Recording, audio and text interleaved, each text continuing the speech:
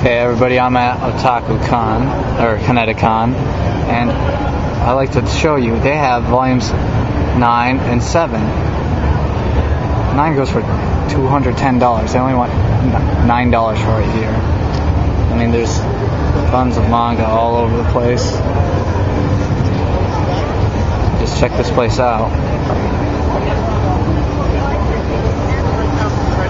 Take care of it for you. Yeah.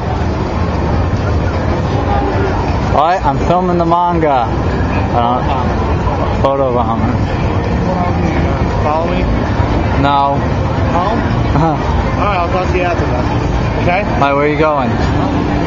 Dude, see, they have a manga there. That's worth $210. Do you want to hang?